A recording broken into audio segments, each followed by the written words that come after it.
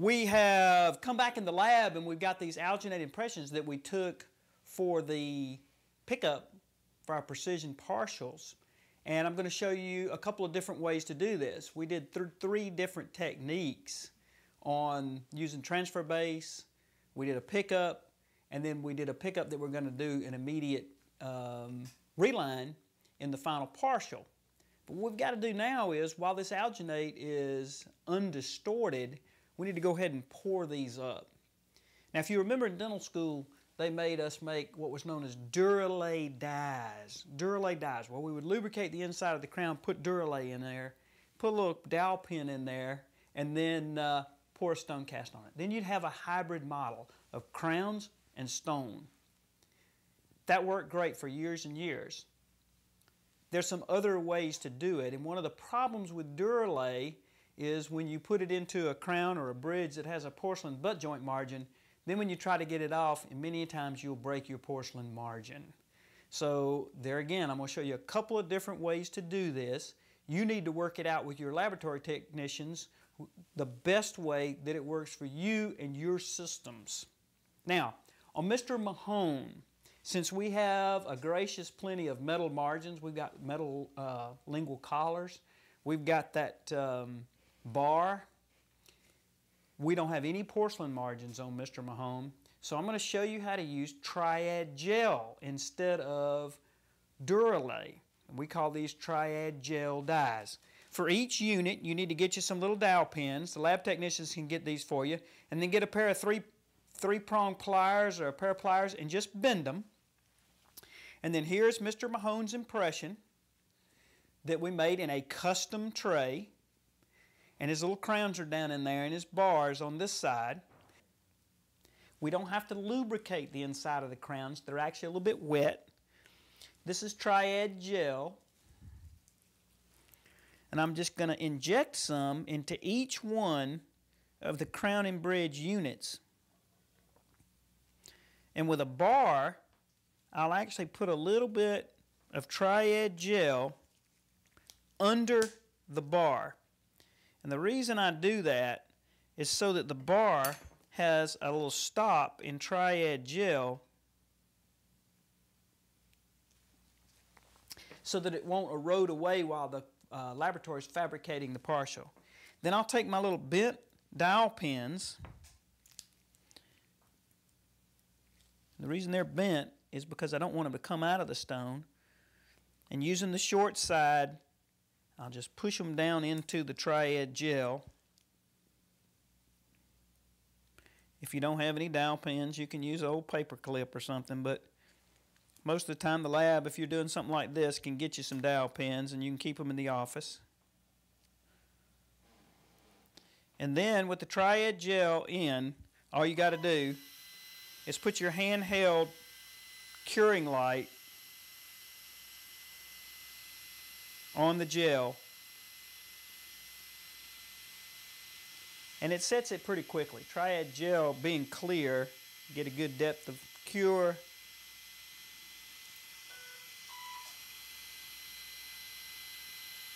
You don't need to put this in a triad oven. The oven gets so hot that it will distort the alginate impression material pretty severely. Really dry it out badly. Now we're solid. Our pins are secure into the abutment teeth, and there's a little bit of triad gel under the bar. Now all we've got to do is rewrap this up. We'll take it over to the model, model uh, department, shall we say, uh, and we'll pour that, and we will pour this in stone. I use King Blue. Okay, that's got Mr. Mahone's impression, and we have two impressions on Beverly to do. And uh, we're going to do hers a little differently. Remember, we have our transfer base that's relined with rubber base. Her crown and bridge is down in there, and she has 360 degree porcelain margins. Now, it would be ill advised to put GC pattern resin or Duralay or Triad gel down in those. And the reason I can tell you that is because we've done it. And what happens is those porcelain margins, when you try to get it off that gel die are just going to break. Well, now you've got a whole case made. The partial, the crown and bridge, everything fits, and you've broken all the margins off. So one of the things that uh, Terry Foey and the guys at Newcraft we've worked out over the years is these epoxy dies that come back with the case that were uh, in this Geller model. I can actually super glue those down into the crown and bridge units, and then they'll have an epoxy die that's part of their hybrid model. And we don't have to worry about the porcelain margins fracturing in the long run. It still could happen, but the likelihood is not there. The problem is if I stick this, this die down in there, what's going to hold it? It's going to kind of flop around on me. And so what we're going to do is we're going to use the tiniest little bit of super glue to hold this in place. Here's the dies, and we've numbered them. I just use a little alcohol marker to number so I get the right die in the right hole. That's always a good thing. And, uh, and so this is number 11. And so I can figure I'll take these little doohickeys right here. We inject a little crazy glue because we're a little crazy around here. Put a little crazy glue in this well from the composite kit. And using these little bonding agent sticks, we'll just pick a little bit of super glue up and put it right on the tip of the crown prep, kind of the incisal edge, if you will. We'll take it, making sure that I got number 11, and then I'll push it down into the die and I'll hold it for just a second. What this is going to ensure is that our um, little epoxy die is not going to float out of there when we start pouring this up. Okay? That's one down. You have to hold it pretty good.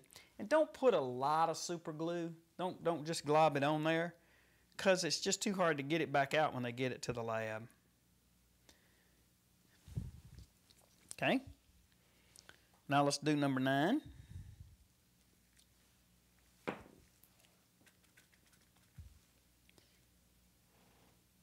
Put a little bit on the incisal edge.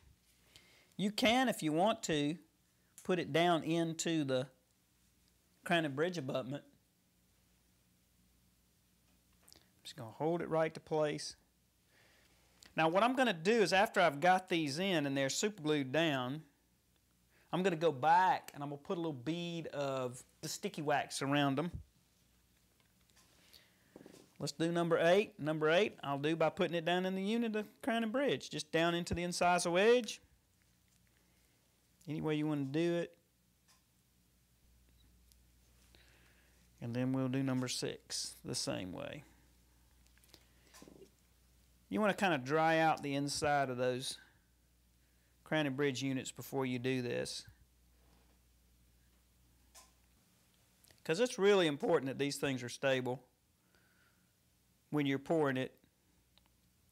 Otherwise, you just won't have a good model at all. Okay. So what I've got is I've got the epoxy dies from the Geller model super glued into the crown and bridge. Now we pour a stone cast into that and we'll have a hybrid model that even if they have to repair a porcelain margin or something, they still have the ability to do that. But it's really got them protected quite well. Now, remember on her lower, we did a pickup and I've already cemented the epoxy dies in those. Now your lab may not make epoxy dies. If your lab doesn't make epoxy dies and you want to use the triad gel, you must, before you put the gel in, go in with some wax, an electric waxer or a Bunsen burner, and cover all the porcelain before you put the triad gel in. Otherwise your porcelain is going to break against the stone. That's kind of the way we used to do it, is we'd block out all the porcelain, just like you would if you were going to solder. Block out all the porcelain with wax, then put your triad gel in. Some labs don't make epoxy dies, and so that would help you out. But as you can see, those fit right back down in there pretty good. Now we can pour this, and uh, it will serve as a great hybrid model. Now, When we pour these, we will use die stone to pour them. We want the teeth that the partial framework is going to be made onto to be really an excellent replica of those teeth, like Mr. Mahone's lower anteriors. We need that lingual surface to be an excellent replica, and they need to be able to wax to that. And so my personal preference is to use some, some die stone. And I would use Die-Keen Blue is what I use. Um, whatever die stone that you work with, I would recommend. But the, you need something that's going to make it through the process of waxing the partial framework and then finishing and polishing the partial framework and then the ability to be able to process acrylic to that. Because what we're going to get back is we're going to get back the finished product. We're going to get the crown and bridge and the precision partials. So I'm going to turn this over to the technician and Kathy and Terry are going to pour these models up for us in Die-Keen blue. Our next appointment then will be to insert the crown and bridge and the precision partials and on Beverly's lower we will do an immediate reline into her final partial.